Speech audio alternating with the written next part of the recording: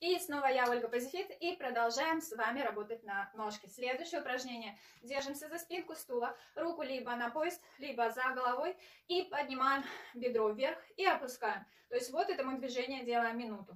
Да? Можно, конечно, делать и таким образом. Старайтесь ногу, то есть не старайтесь, а просто не ставьте ногу на пол. И дышим вот в этом положении. Начали, работаем. Выдох, выдох, выдох, выдох, выдох, выдох. Дышим, вдох, вдох, вдох, вдох, выдох. Выдох, выдох, выдох, вдох, вдох, вдох, вдох, выдох. Выдох, выдох, выдох, вдох, вдох, вдох, вдох, выдох. Выдох, выдох, выдох. И то же самое с